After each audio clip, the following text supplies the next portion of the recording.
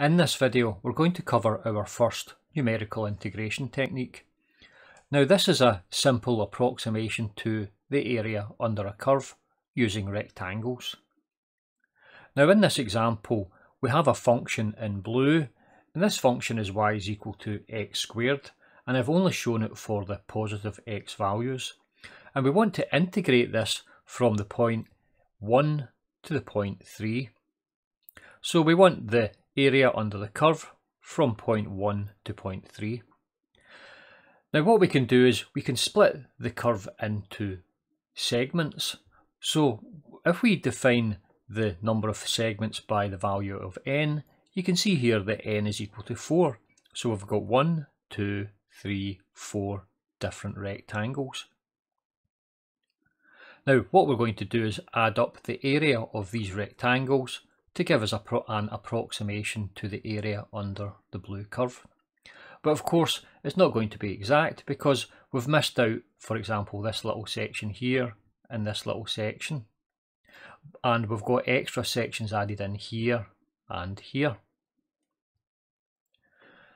But you can see that if we were to increase the number of rectangles and make the length here smaller then we could get a far better and finer approximation to the area.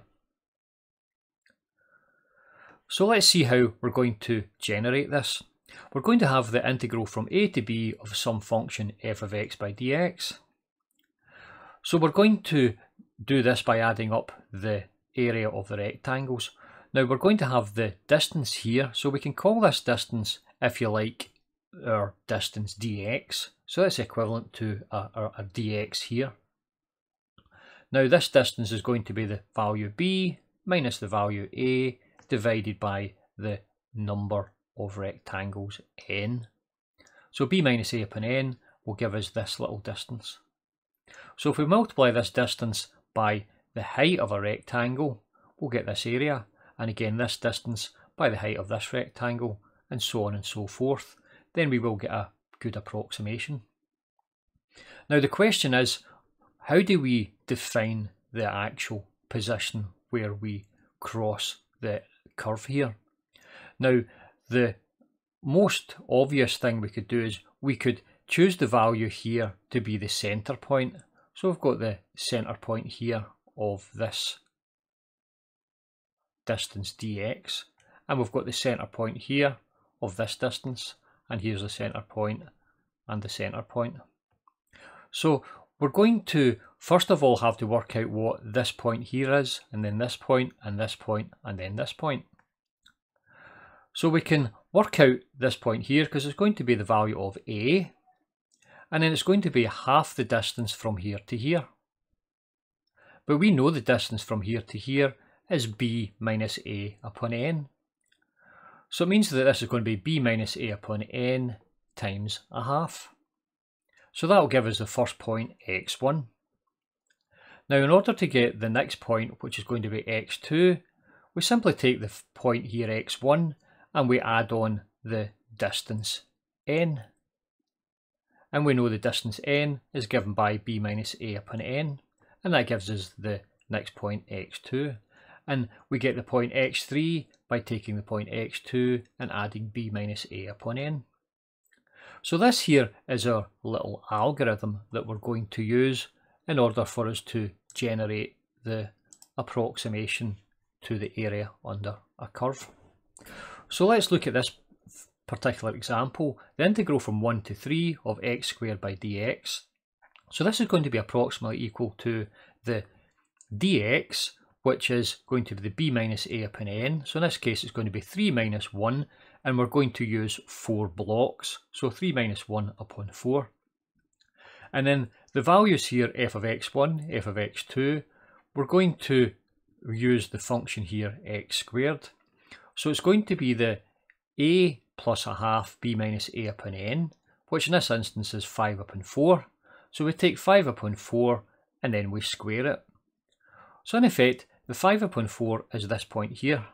And when we square it, we get this point here. So that's going to give us the height.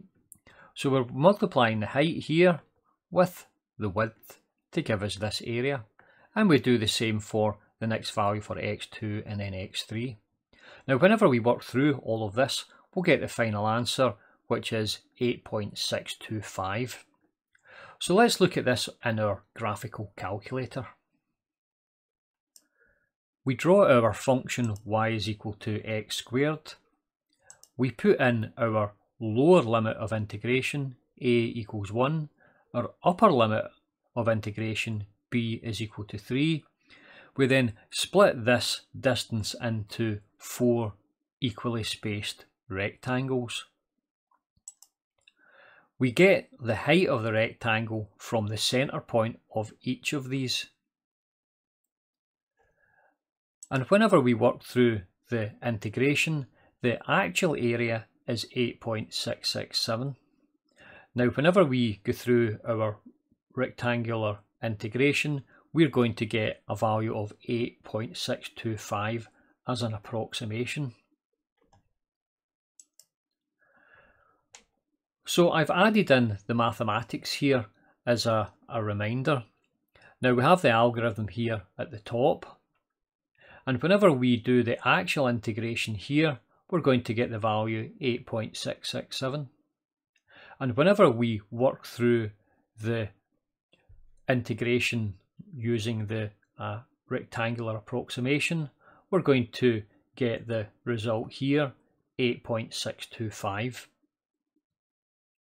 so let's have a look at this within our assembly language.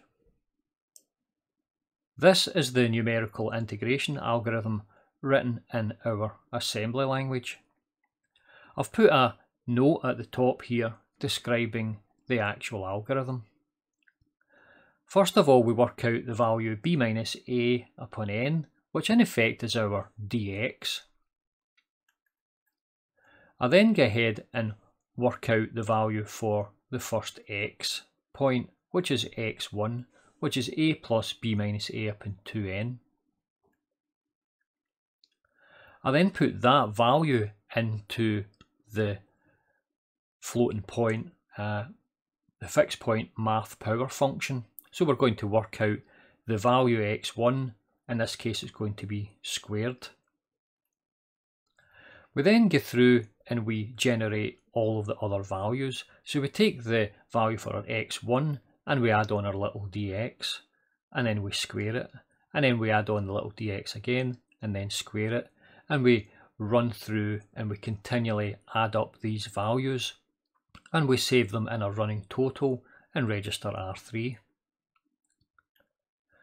Now whenever we're finished that, in the end we have to take all of those values and multiply them by the value dx, which is our b minus a upon n. So we do that at this point here. And that in effect is the algorithm finished.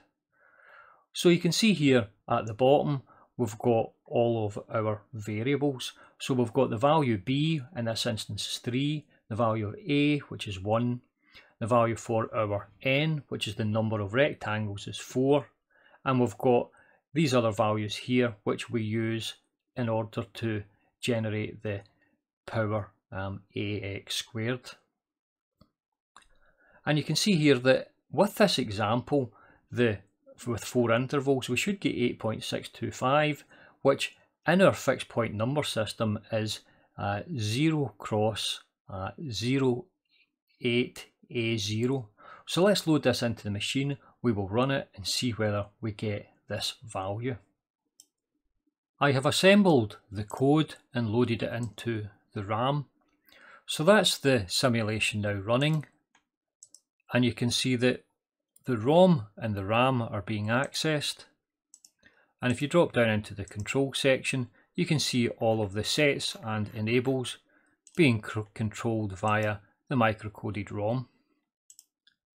So I will fast forward this to the very end and we'll see what the final result is. Now the simulation has finished and we have an exact answer in register R3 which is 08A0.